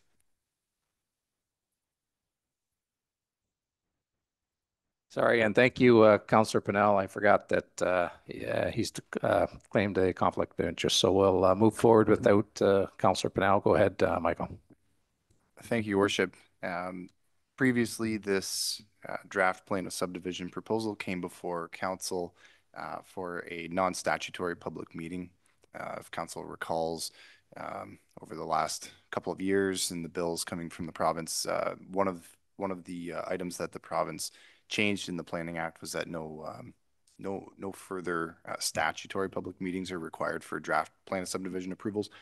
Staff felt it was pertinent to hold a non-statutory event nonetheless to give uh, the public the opportunity to speak to council about uh, any comments, questions, or concerns that they had with the with a proposal uh, for a draft plan of subdivision. Following on the the public meeting, staff um, finalized our technical review and uh, have finalized the proposed draft conditions to approval. So staff are recommending approval, subject to um, the standard list of draft plan conditions with some additional items, um, specifically as it relates to installation of wells prior to final plan approval being granted, um, and upgrading of uh, the existing portion of Ben's Point Road uh, to the satisfaction of the municipality at the owner's uh, cost. Um, So the, uh, the applicants, I believe the applicant is, is in the room or a representative uh, from, from the group is in the room. If there are any technical questions, um, I'd be happy to answer those uh, and or the, uh, the proponent. Um, Again, standard conditions, but with the, with the additions of um, ensuring there is potable water of suitable quantity and quality and um, further investigation of the existing Bens Point Road and um, commitment to upgrade that portion of road uh, as it exists today to the satisfaction of the, of the municipality uh, at the owner's cost. Great, thanks, Michael. Is there any questions or comments for Michael with respect to his presentation? Yeah, go ahead, Counselor Schenk. So Mike, as you said, I'm just gonna confirm it. So the, everybody that had the concerns about the roads all the way to, uh, County Road eight, that's gonna be brought up to, you know, because of the access, ro- uh, that'll be brought up to standard. And the concerns about the lack of, uh, potable water, that's addressed also. They were the two major ones. Through your worship, the, yes, that is, that is correct. Those were the primary areas of concern from the public, I would say, is provision of water, suitable water, uh, and, uh, access from the site to, to County Road eight. Thanks, uh, Counselor Schenk. Thanks, Michael. Is there any other questions for Michael? The, e- sorry. Yeah, go ahead, Mike. Uh, Mike, uh, the easement that's gonna be going down to the water, is that gonna be gravelled? Like, Uh, is it gonna be like, you know, they're gonna take a little bit of topsoil off, put the, it's just a sliver of land, just- so it's delineated that people know that that is the public access to the water. It's not really wide, it's just more of a, you know, Yep, through, through your worship. So that would, uh, that, that's a, bl- anticipated to be, uh, dedicated as a block of land to the municipality. So it would, it would come into our ownership ultimately as land that we own. Um, we could investigate through the, um, through the final plan approval process, through the engineering design of that space and the roadway and, and all of the infrastructure. Absolutely. We'll, we'll look at that and signage as well. Go ahead, Mike. Uh, It's just that for, just for kind of experiences, when it's delineated and you know exactly that's where it is. So it's only in the developer's interest that he, they have happy neighbors also. So if somebody starts walking over across somebody else's land and they, well, I thought this was the public access, that's why I'm saying, uh, you know, it's not really considering what the cost of roads are now and that short a distance to an arrow of a strip. That's why I'm mentioning that, and then everybody knows where it is. So, Thanks, Counselor Schenk. Uh, is there any other questions of Michael? S- Counselor Hicks. Thank you, Your Worship. Um, Michael, just further to that particular sliver of land, uh, so it's five meters wide at the road. Uh, I believe when, um, the planner was here for, for the developer, I had asked her about parking provisions, and I see it's sort of a rounded, but if somebody comes in off County Road eight, they do have the right to park on that road and use that access to the water. Now, my recollection is it's not particularly nice waterfront, but they can use that access, correct? Through your worship, yes, that, that is correct. It would be public access. Um, with it being five meters in width and fairly shallow in depth, the, the water being shallow in depth, we don't anticipate needing a boat launch. For example, this would be passive recreation, can, canoe, kayak, just simply walking to the water. Um, so it, yes, parking could, could be had around the turnaround bulb, the cul-de-sac. Um, and I, I, given the lot frontages surrounding that, uh, and locations of, future locations of driveways, I think there's a- enough room to accommodate, um, the small number of anticipated vehicles there. Thanks, uh, Counselor Hicks. Thanks, Michael. Is there any questions of uh, Michael with respect to his presentation or with respect to uh, the draft plan approval? Seeing none, we have a staff recommendation that council receive for information the growth and Expansion Services, PL SUBD 2015-019 Benz Point Subdivision Draft Plan Approval Report for part lots 13 to 15, concession to former geographic township of Fredericksburg, Part 1, 29R 10885, Town of Greater Napanee. And further, that council approved the draft plan of subdivision PLSUBD 2015-019 as identified with the, within Appendix A to report SR 462-2024 as it is consistent with the provincial policy statement, conforms with Lennox and Addington County official plan, and confirms, sorry, conforms with the Town of Greater Napanee official plan, subject to a number of conditions that are contained within your agenda. Moved by Councillor Norrie, seconded by Deputy Mayor Calver. If there's no further comments, questions, or concerns, all in favor of that motion? Opposed? Motion's carried. Uh, Thanks, Michael. And I see you have another one, but we'll get uh, Councillor Pinnell back in here uh, forthwith.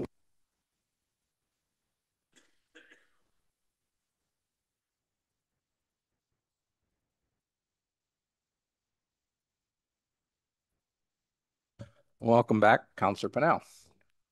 Moving on, growth and expansion, PLV, VALC 2024-007, 2626 County Road 41, request for validation of title. And Michael, you're on the floor again. Thank you, Your Worship. Um, The request for validation of title uh, before council this evening um, is something that comes up uh, almost seems like once a year, uh, give or take.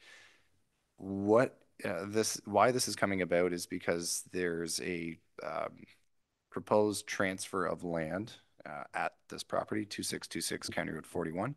And through the uh, process of uh, checking that they're confirming that there's clean title to the land, uh, the lawyer for, I'm not sure if it's the disposing party or, or the purchasing party, has identified that the initial severance um, of this land uh, back in, I believe it was 1983, um, used the incorrect stamp on the deed. So in 1982, there would have been a provisional approval from the land division, the county, that the then county land division committee uh, to create this lot as a separate, separately conveyable new lot.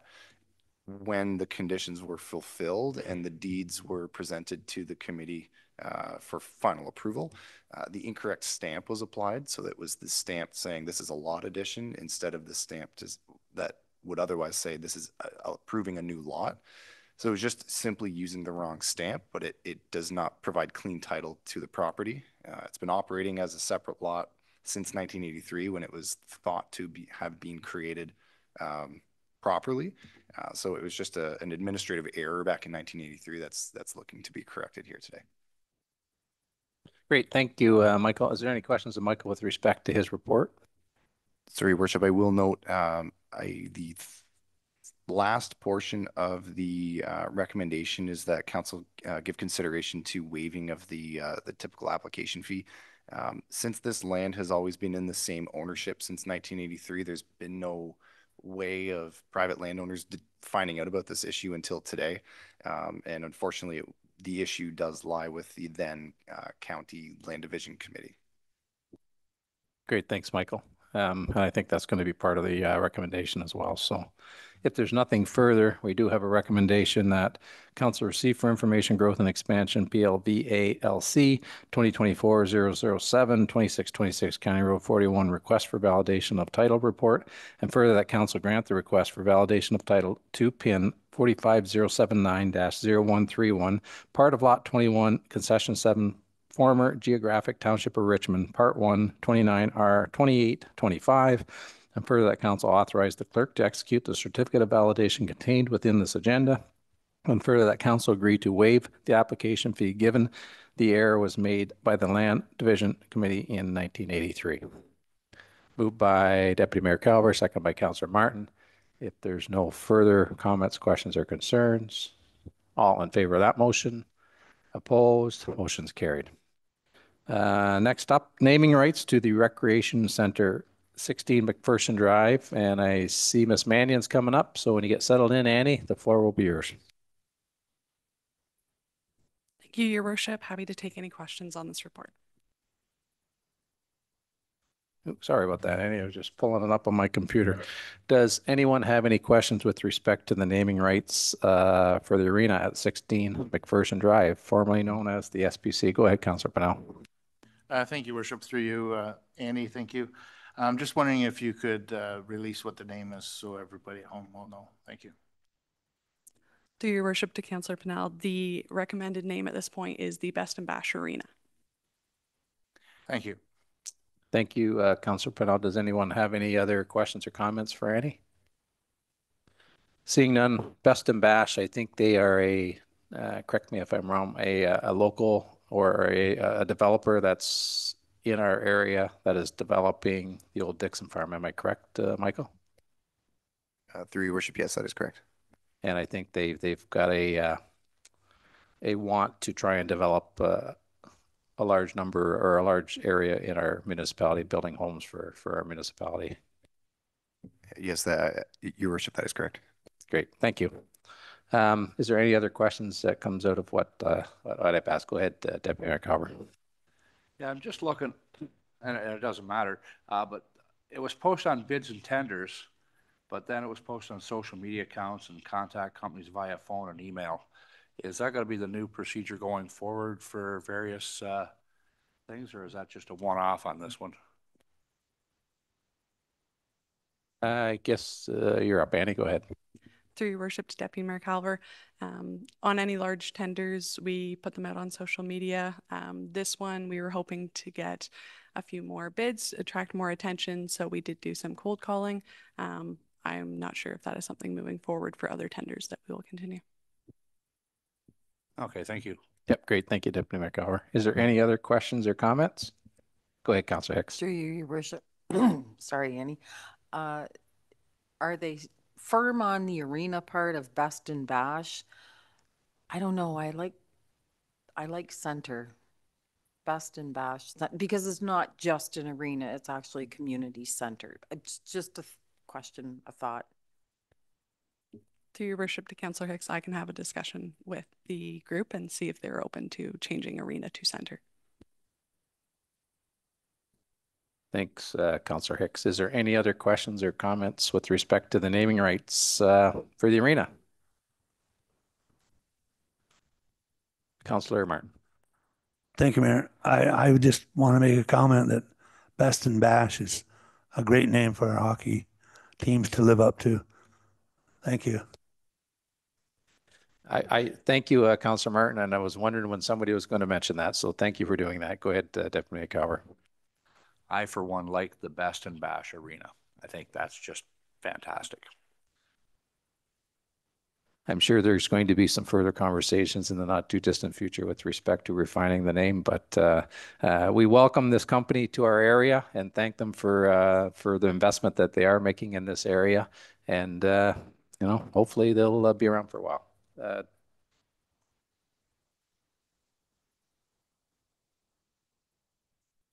Is there anything else? Seeing none, thank you. And, uh, and at this point, I, I guess I really should uh, mention that we'd like to thank uh, the Strathcona Paper Center for their continued support. They've, they've had the SPC on the, on the arena since it was built, and that was, what, 20-ish years ago, if I'm not mistaken. So um, we'd like to thank them for the support and, and the continued support in our municipality. And uh, I'm sure that uh, uh, they'll be interested in trying to put their name on something else in the not too distant future. So uh, thank you to the Strathcona Paper Center and uh, welcome to Best and Bash to our community. So uh, we do have a staff recommendation uh, to note and receive. And further, that council endorse a naming rights agreement for the Recreation Center at 16 McPherson Drive with the Best and Bash developments from September 1st, 2024 until August 31st, 2034. And further, that the mayor and clerk be authorized to execute the agreement with Best and Bash developments. Moved by Deputy Mayor Calver, seconded by Councillor Hicks. If there's no further comments, questions, or concerns, all in favor of that oh, did, all in favor?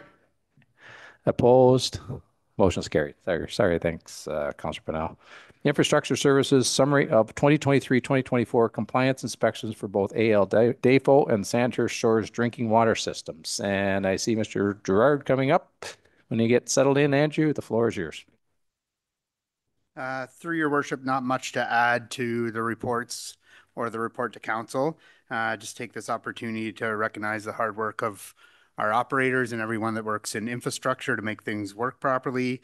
Um, the diligence that our operators show day in and day out to ensure our water system is safe for the public. Um, also proves that our quality management system that we have in place is is up and running and, and working adequately.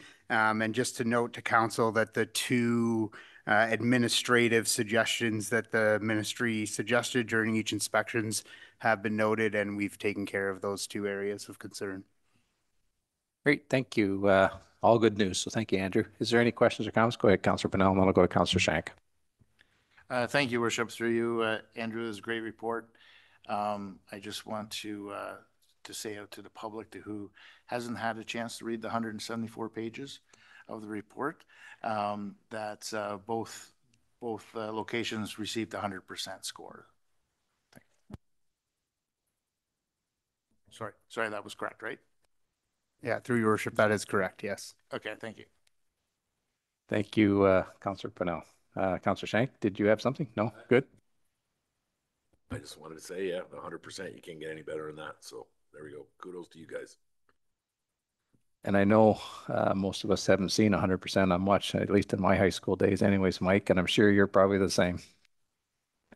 Uh, look for a motion to receive for information the infrastructure services summary of 2023, 2024 compliance inspections for both a AL Dafoe and the Sandhurst Shores drinking water systems. Moved by Deputy Mayor Calver, seconded by Councillor Schenk. If there's no further comments, questions, or concerns, all in favor of that motion? Opposed? Motion's carried. Uh, bylaws. I don't believe we have any bylaws, or do we? I guess we have one, right, Madam Clerk? Bylaw number 2024 0024, disposition of surplus land, 115, 117 John Street, Town of Greater Napanee. Uh, we'll look for a motion to put it on the floor, moved by Councillor Schenk, seconded by Councillor Pinnell. Uh, just the- for the folks reading at home, it's uh, 115, 117 John Street is the vacant lot uh, across from Town Hall, right across the street from where we are this evening. So um, if there's no further comments, questions, or concerns, ready first, second, and finally passed. This sixth day of April 2024. All in favor of the motion? Opposed? Motion's carried. Sorry, ninth day of April 2024. Um, information reports from members. Do any members of council have, uh, are looking for any information with respect to, uh, reports that, that, uh, can help clarify anything this evening? Uh, just, just one, uh, matter, Madam Clerk. Um, do we have an indication or do we have, um, um, an idea as to when our procurement, uh, um, audit is going to be returning? I know we've, we've sort of been waiting for it, but, we haven't heard anything lately, so. Through your worship, I have been advised that we should be receiving a draft report in the first half of May. Uh, at which point I believe that would be presented to council. Um, and then once the report is finalized, it can be released to the public. Okay, great, thank you. Uh, inquiries. Uh, do any members of council have any questions or inquiries? Go ahead, Deputy Mayor Calver. I was just wondering with all this beautiful weather we're getting and uh, boaters are actually getting out and getting more active, uh, when we could expect to see the uh, concrete blocks put back into place and the little dock put down there. It's, uh, like I say, the weather's, the weather's unbelievable. There's boaters going up and down the river every day now. Yeah, and I guess the uh, opening of week pickerel season will be fast upon us, seeing as the first weekend in May. So, um, can we maybe uh, see if we can get some information with respect to when when that's going to be, and then we can pass that information on to uh, to council, and they can pass it on to the public for the people that are asking.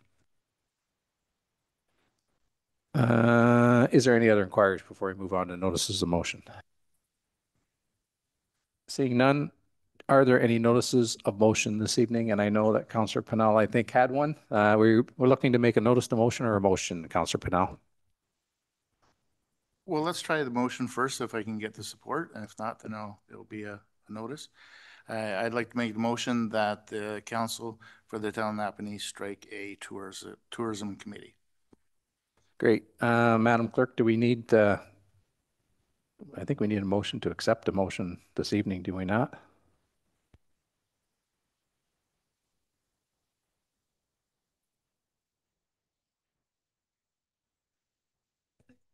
Sorry, through your worship. Um, with two-thirds majority of council, the matter can be considered tonight. Um, otherwise, it would be considered at the next regular session of council. Or given that we're having a special meeting on Monday to talk about committees, well, we may put that on the special meeting agenda if it's otherwise. Um, with two-thirds majority, the matter can be considered tonight and voted on. Okay, so, um, and I actually, thank you, Madam Clerk. I'd forgotten that we do have, actually have a meeting on Monday with respect to the committees. Is this something, uh, Councillor Pinnell, that, um, we can have Madam Clerk add on to the agenda for Monday, or would you rather do it by motion? And we'll, we'll see if we have two-thirds vote this evening. Um, it, it doesn't make much matter to me. We're here right now and we're talking about it. It's a quick vote. Okay, so we'll need a vote to see if we have the two-thirds to entertain the motion. Am I correct, uh, Madam Clerk? Yes, and through your worship, the motion would be that council waive the notice period and consider the no- notice of motion put forward this evening. Sorry, go ahead, uh, Mr. Satterberg, go ahead.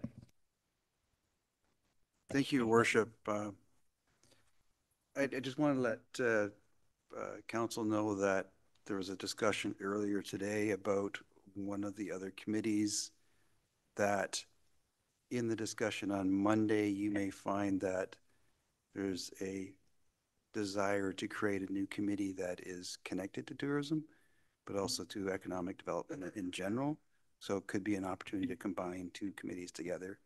And once you have the discussion on Monday or on the 15th, wherever that day is, once you have the discussion on the 15th, you may find that um, it may lead you in that direction anyway.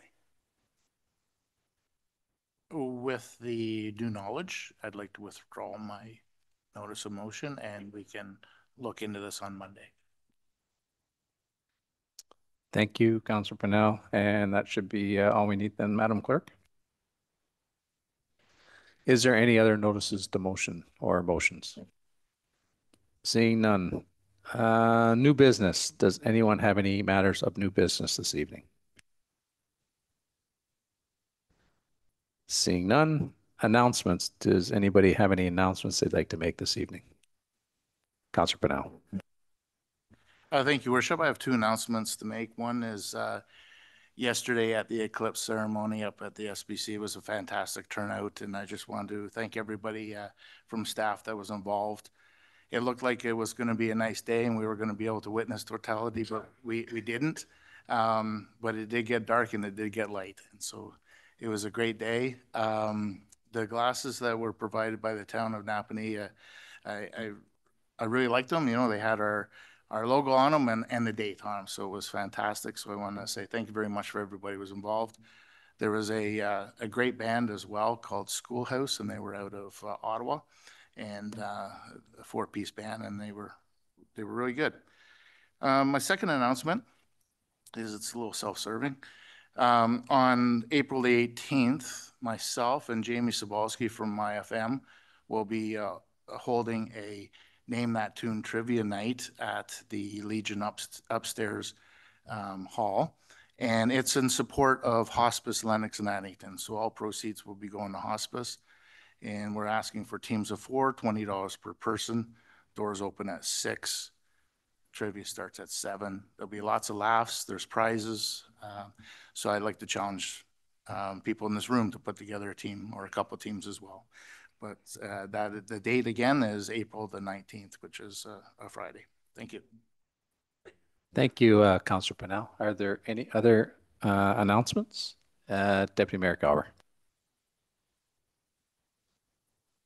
Uh, Thank you, Your Worship. Um, just so- so everybody is, is know, knows and is aware, the uh, Napanee Raiders, they've, uh, they've taken the Tod Division, um, which is a, a big win for them. Uh, they're now starting off to play off at Clarington, and uh, game two is uh, here Saturday night, April 13th. Uh, and game five is, uh, gonna be here Tuesday, April nineteenth, or sorry, eighteenth.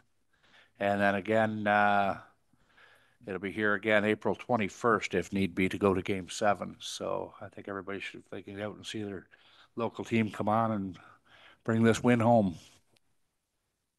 Thank you, uh, Deputy Mayor Calver. Yep, the, uh, the lads did very well to get out of the division, played some good hockey. So let, let's hope that, uh, they go a lot deeper into the playoffs. So is there any other uh, announcements anyone would like to make?